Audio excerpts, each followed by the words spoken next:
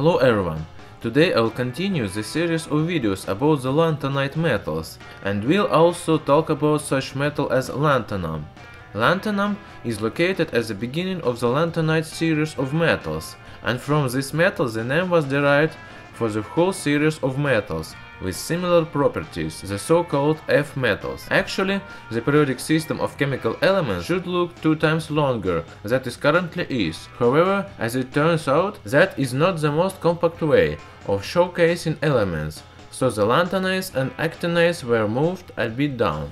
Lanthanum is quite an active metal, and as a result, it is stored in kerosene or mineral oil. In air, lanthanum oxidizes and covers itself with a layer of oxide. This metal is quite expensive, 1 gram costs about $10. By its hardness, lanthanum resembles zinc, is also quite durable. From the chemical viewpoint, lanthanum is second among lanthanides based on its activity, just after europium. It reacts with water rather slowly, but in acetic acid it begins to react easily, forming hydrogen and the slurry of lanthanum hydroxide.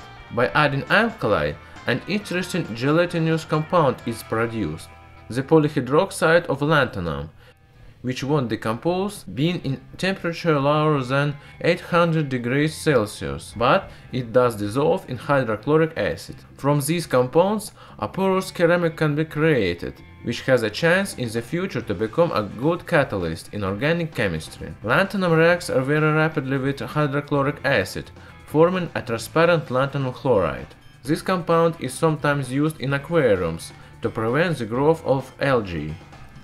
When pouring the sodium hydroxide alkali to lanthanum chloride, a lanthanum hydroxide is formed, from which by using heating a lanthanum oxide can be obtained. This oxide is used for the manufacture of optical glass with a low refractive index. Some of the lanthanum chemical properties are similar to calcium. Lanthanum hydroxide can dissolve in the descaling agent that contains trilon B, which is a good complexing agent. If you heat lanthanum by using a gas burner, it will get covered with a layer of lanthanum oxide, however, won't even burn when ignited on wood.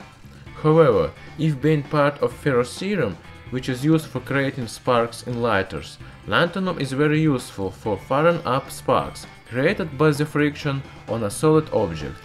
Ferrocerium contains about 25% of lanthanum. Today the most widespread use of lanthanum is the use of its compounds as an anode of rechargeable nickel metal hydride batteries. For example, for the creation of a Toyota hybrid car that uses such batteries, 10 to 15 kilograms of lanthanum are required.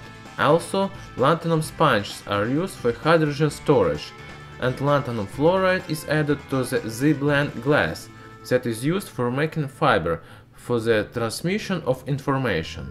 Who knows, it might be because of lanthanum that you are currently enjoying a high-speed broadband at your house. Now you know a little bit more about one of the other metals. If you would like to support the continuous production of science videos like this one, please support channel on Patreon, link in the video description.